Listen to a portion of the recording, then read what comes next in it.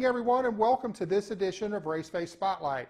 Today, we're going to be going just about as far as we can go on the map. We're going to be going from New Port Richey, Florida, all the way up to the northwest to Snohomish, Washington, where we find 15-year-old Haley Constance. Haley, how are you doing this evening? I'm doing really good. I'm glad to be back racing, and it's just been really exciting since I've been racing three cars this year.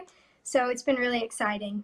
So let's talk about before the racing actually started. How were you handling the ban on racing and not being able to go out and race? It was definitely really hard for me, especially because racing is like my number one hobby, and I've always raced my whole entire life. And not being able to like start racing this season was really hard, especially with the virtual school I had really nothing to look forward to, so it was really stressful and it was just kind of really upsetting not being able to race. Now, when she says she's serious about racing, I'm going to tell a little story on her. Right before we came on the air, I asked her about her new boyfriend, and she said, My race car is my boyfriend. right answer. So that will tell everybody watching this girl is serious about racing. But let's go back. Let's talk about virtual school a little bit.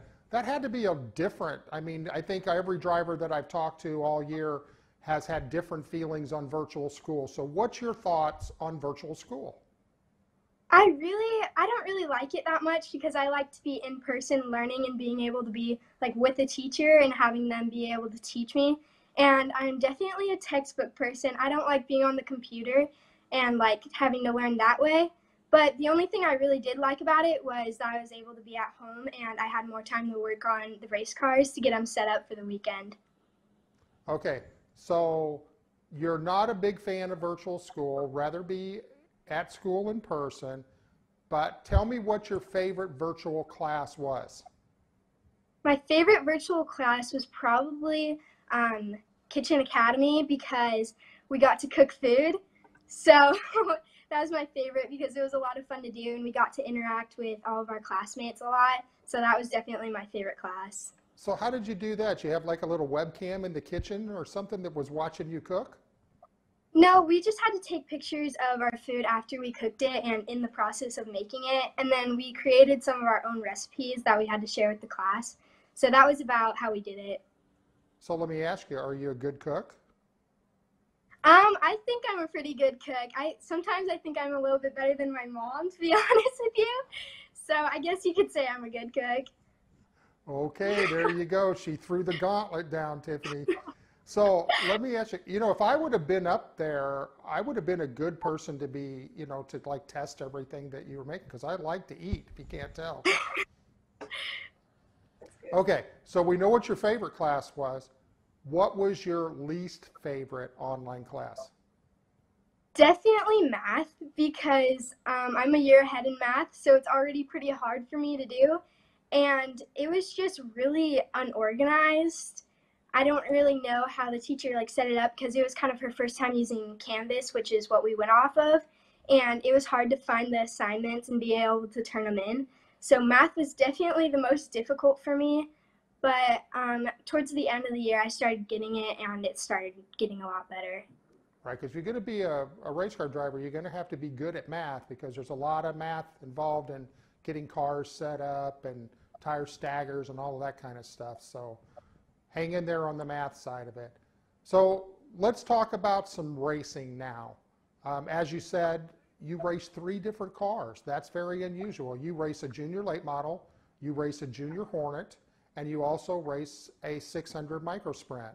So out of the three, which is your most favorite to drive? Um, I just I like driving anything, anything that I can drive I like. But right now, I think my favorite is the micro sprint because it's on dirt. I've always raced dirt, and it's always been my favorite.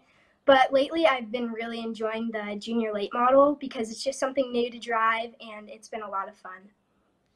Well, that surprises me that you're you like the micro sprint, you like to race on dirt. So, what is it about the dirt racing that that you like so much about? It really gets my adrenaline pumping, you know, because it's just it feels a lot faster than when you're on asphalt. It's just there's more movement. You have there's so many different grooves, and every other lap you're in a different groove, or you're passing somebody every other lap, and it just seems like it's a lot more chaotic, I guess you could say. And so you're always moving, and your eyes and your mind is just always thinking. Where on asphalt for me in the late model, it just feels like a lot more consistent and smoother than it would be on dirt. So what things are you learning in the micro sprint that you think you'll be able to carry over to uh, the late model? Um, there's definitely been a couple times where I've gotten loose in the late model and I've been able to save it, and I think that's because of my dirt experience. So that's been really helpful. Absolutely. I, I think that's what everybody carries from the dirt over to uh, the pavement racing is that ability to be able to hold on to a loose race car. And you kind of get you see the guys kind of get sideways. You see the christopher bells the ricky stenhouses. When they get kind of loose and they get it sideways and get it all cocked up those guys that have the dirt experience are able to save those cars. So that's really cool. But let's talk about that you had a win at wenatchee uh, valley super oval in july um, in your junior late model so how exciting was that to park that thing in victory lane that was really exciting. It was a lot of fun to race, and uh, we started third, I believe, and we got a really good start in the beginning because the person in front of me spun out. So we just got the lead very early on and led most of the race. And my heart was definitely pumping because I had a car right behind me the whole time, right on my bumper. And towards the end, we started pulling away. But it was just, it was crazy. It was nice to get my first win at Wenatchee because that was the first junior late model race at Wenatchee. So that was really exciting. So when is your next junior late model race? It's actually this weekend at Wenatchee again, so that should be fun. Back to back? Uh, yep. And we have a micro sprint race on Friday too. So we're racing the micro sprint at Deming on Friday on the dirt, and then on the next day we have to head up to Wenatchee to race the junior late model. All right, she called it. She's going back to back in the junior late model, back to Victory Lane. So I know also in July you picked up a win in the Youth Hornet. Um, tell us a little bit about, because a lot of people may not know what a Youth Hornet is. Can you tell the viewers a little bit about a Youth Hornet and how it's a little bit different than the late model? So it's an Acura Integra and it's front wheel drive. And so we drive on a fifth mile track, which is pretty small. You wouldn't be able to drive a late model on that small of a track and it's just it's a lot smaller and a lot more less power than a late model would be. And is it a little bit more aggressive racing? Is there a lot of bumping and banging in that Youth Hornet, or does everybody race pretty clean? Oh yeah, there's a lot of bumping and banging. Uh, a lot of the kids are newer to racing. Um, sometimes it's their first time even being in a car, so it's a lot more rough, and the cars aren't as pretty as a late model would be, and a lot less expensive so the kids aren't really as afraid to uh, bump and bang a little bit. And one thing about the Junior Hornet that I don't really like is that it's full invert. So if you qualify first, then you're going to have to start all the way in the back of the pack in the main. So sometimes I'll be starting like 15th in the main, have to work all my way all the way back up, which I guess I kind of like it a little bit because it's a lot more racing and a lot more passing, so it makes it a lot of fun. Well, the good news about all this invert stuff, when you make it to the top in racing, it's like you qualify, you start where you qualified at. So all the invert, roll the dice, pick the number, all of that kind of stuff goes out the window. But it does, you know, help you now uh, because it does. It's more entertaining for the fans. That's what all the race promoters say. That's why we do the invert. And uh, if you're coming from the back and coming all the way to the front, then if you were in the front, you'd basically just run off and leave everybody else. So not so much um, sure how you much you would learn doing that. So um, what does the rest of your schedule look like um, as far as making up some of the races that uh, were affected by uh, COVID earlier in the season?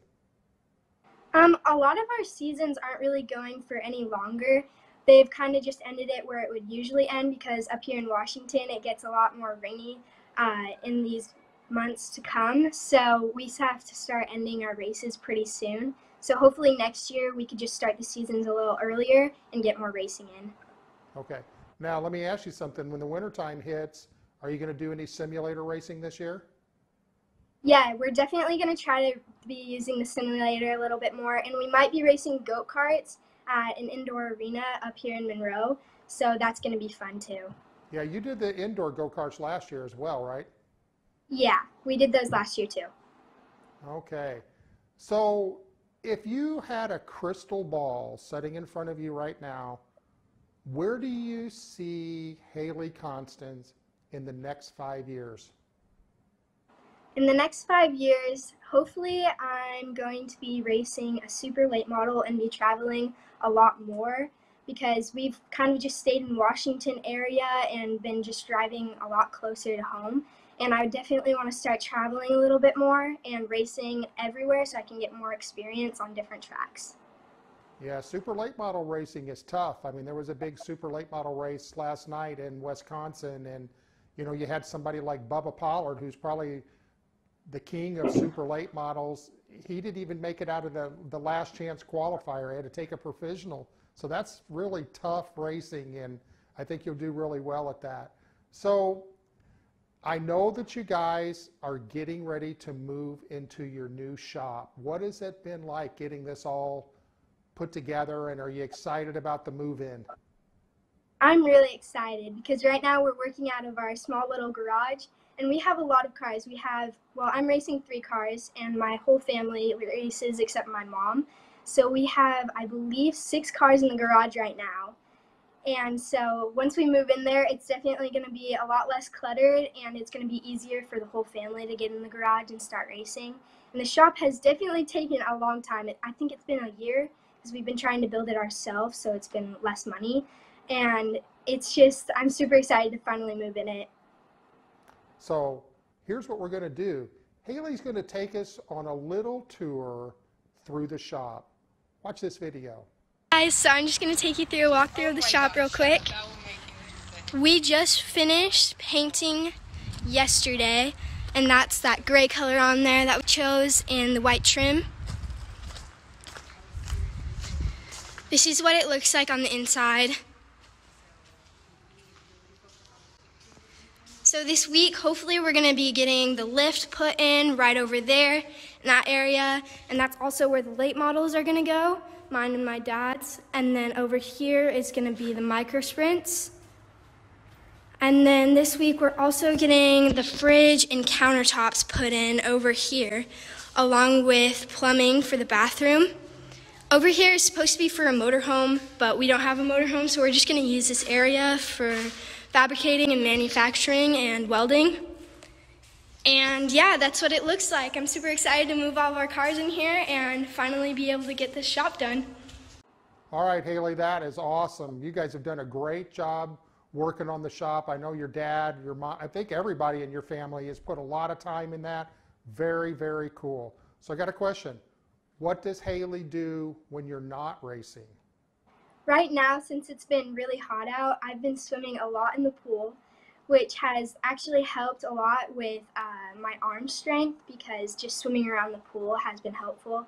And I also, we jump on the trampoline a lot, so I've been trying to learn new tricks and everything since quarantine started, and I've actually been able to get um, my backflip and everything. And another thing we've been doing is paddleboarding. So that has really helped with my arm strength with the late model and everything. So let me ask you something. You get this backflip down. Are you going to do like Carl Edwards used to do, do a backflip if you win a race? Um, I don't know about that one. I've been kind of prone to breaking bones, so I don't know how that would uh, pan out. So. Never mind. No backflipping. I can yeah, see let's the, not do that. my phone ringing now with your parents going, you, you talked her into doing a backflip. She broke her arm. I don't want to be responsible for that. So I know you've got something new going on that's actually pretty cool. It's called a social media pit crew. And that's where you've asked fans if they want to be a part of your racing to help you share your social media posts. So basically to, to like it, comment on it, and share on it. How's that going? And are you looking for any more pit crew members? Um, I'm looking for a, a couple more pit crew members. That would be nice because they've really helped me a lot with my views and everything and being able to make sure more people get to see my post. And a huge thanks to everybody on my pit crew because they've been really helpful in sharing and commenting and liking all my posts so that more people can be able to see what I'm doing and where I'm going to be racing next. Awesome. So there you go, a personal invitation from the driver herself that says if you want to be on her pit crew, reach out to her. So go to her social media page, send her a message. Come on, we have a lot of fun doing this. So we're just about out of time. Haley, do you want to give a shout out to your sponsors? Yeah, huge thanks to mytrafficman.net, um, DM Inc. for my incredible graphics on all of my cars and for my suit designs, um, my whole family, all of my supporters, Joe's Racing Products, Joe's Speed Shop, um, PFC Brakes, and that's it. All right. Well, Haley, thank you so much for being with us. If you want to find out more about Haley, go to haleyconstanceracing.com. Check out her fan zone. Get signed up and subscribe to her newsletter. And you guys can also follow her there on all of her social media platforms. So, again, Haley, thanks for being with us. We'll be back talking to you in a couple of months again. So, go out. Let's go back to back this weekend. And everybody, my name is Rod Wortham. Thank you for watching Race Face Spotlight. We'll see you back here in two weeks.